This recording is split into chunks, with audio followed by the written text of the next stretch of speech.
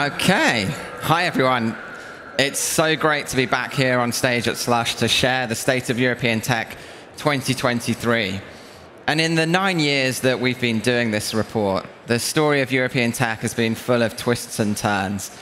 We've seen records broken, dizzying highs, market corrections now, along with a few shocks that have put the whole ecosystem to the test.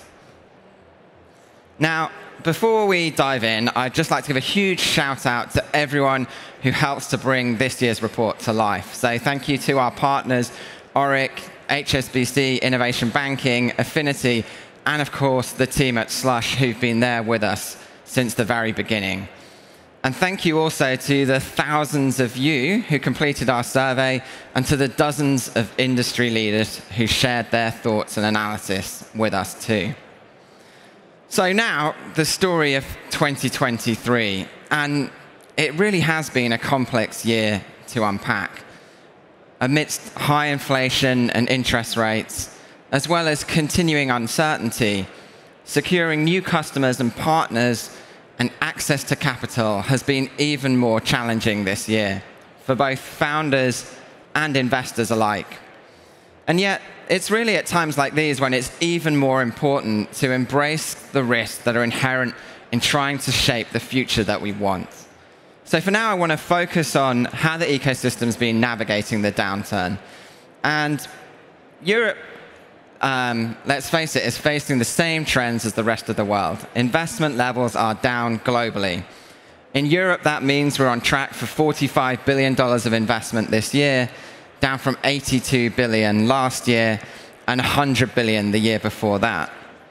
What's interesting, though, is that European levels of investment are up 18% compared to 2020, while every other region around the world is down over the same period. Still, this global retraction of investment is impacting the flow of capital between regions.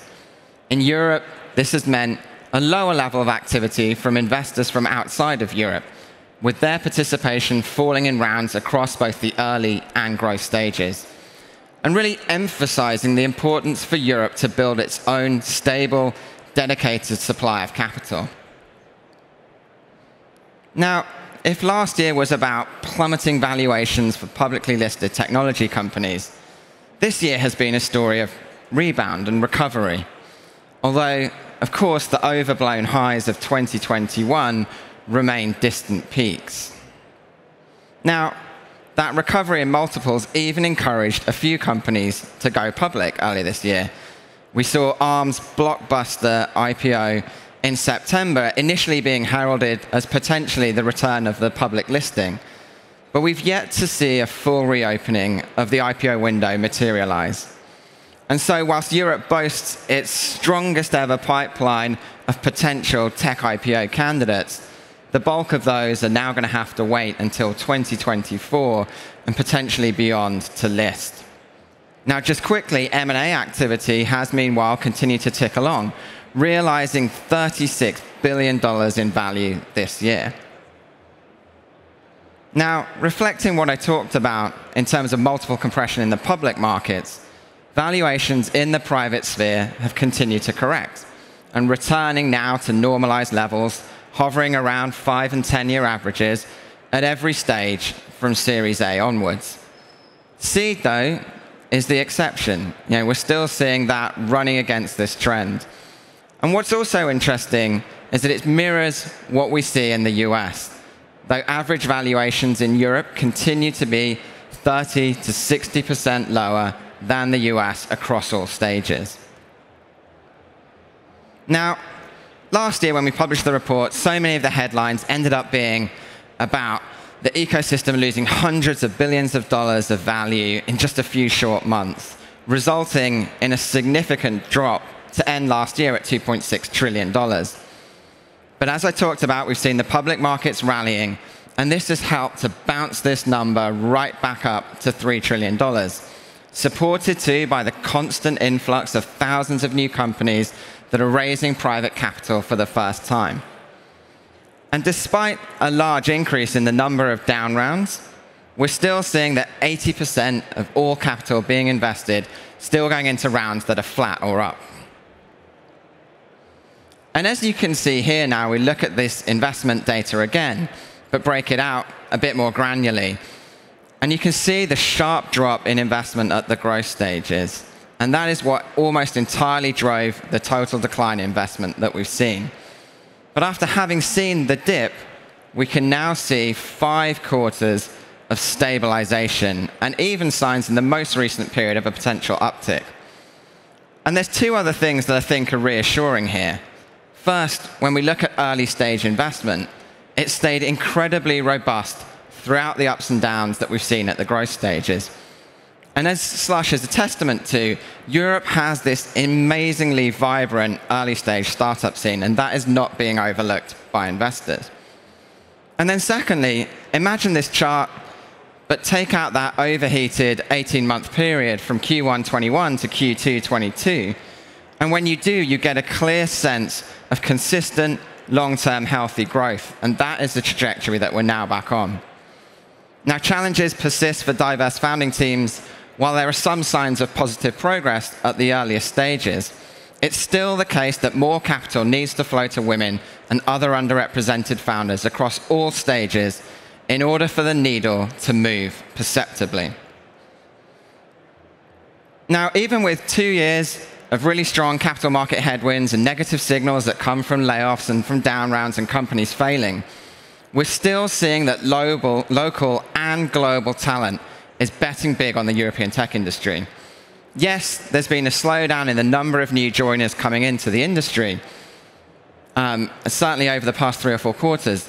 But in just five years, we've seen the European tech industry grow from 750,000 people to more than 2.3 million today.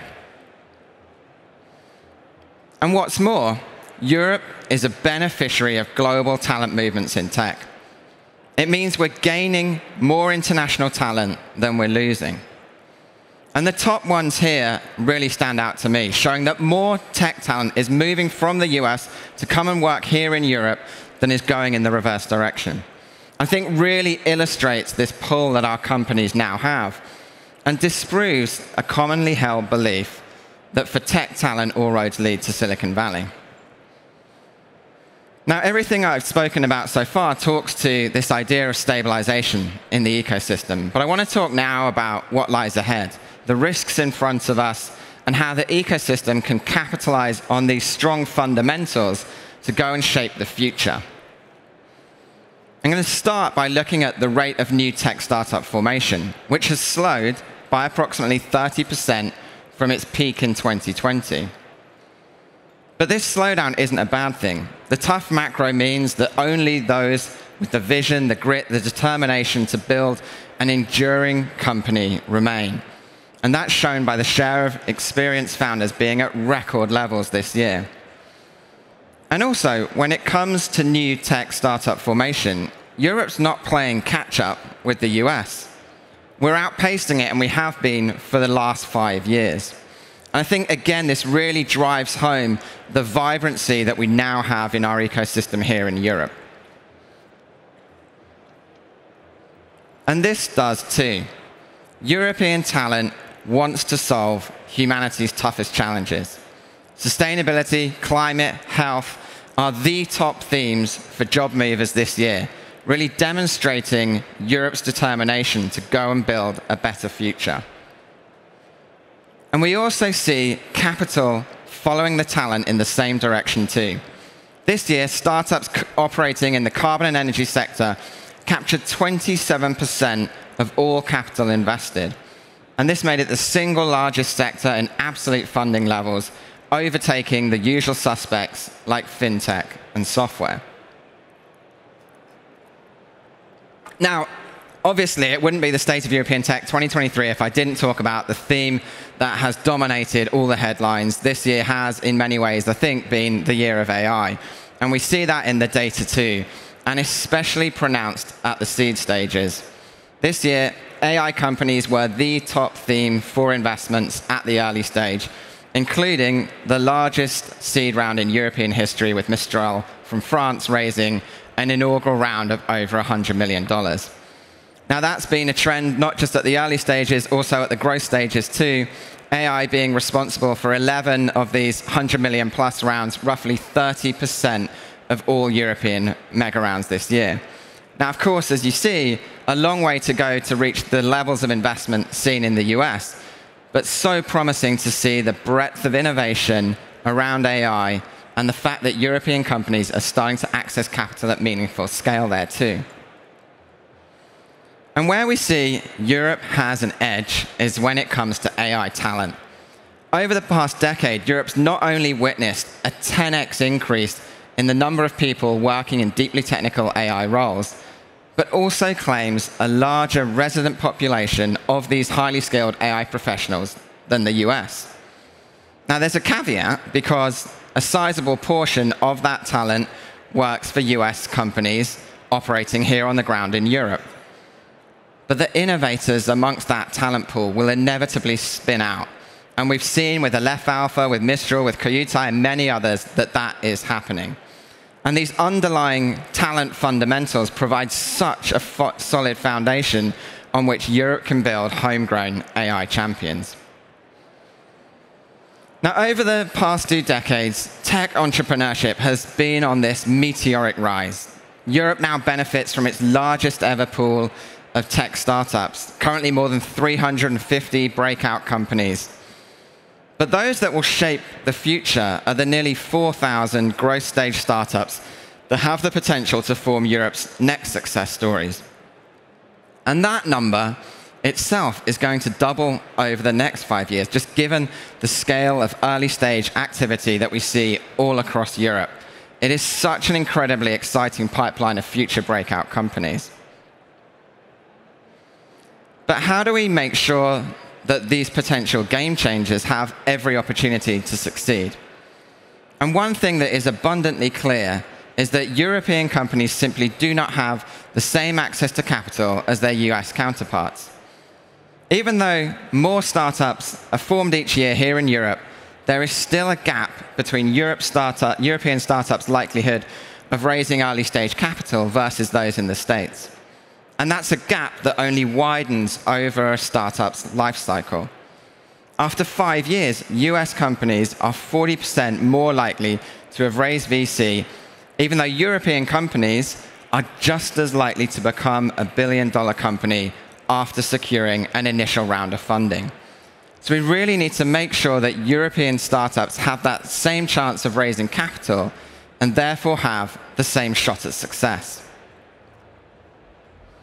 But while we've seen a 50x growth in the value of the European tech ecosystem over the past 20 years, the same is not true of institutional investment. In fact, the share of alternative assets under management allocated to VC by European asset managers has actually declined over the past two decades. Today, just 8% of European asset manager AUM is going to VC. In the US, that number is 16%. And in absolute terms, this equates to an almost trillion dollar allocation gap. $1.1 trillion in the US, 200 billion in Europe. So Europe's LP landscape, its institutional investors, need to match the scale of ambition of its founders and startups. And as a case study, Skype is the perfect example of what can happen when investors take the risk and lean in. 20 years ago, when Skype was founded in the aftermath of the dot com crash, people were hesitant to take risk and invest.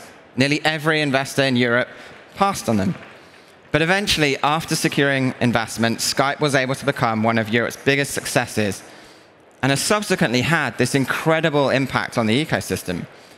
We measured this year the impact. 950 new companies have now spun out and been founded by Skype alumni across two generations some becoming billion dollar companies, and employing tens of thousands of people all across Europe.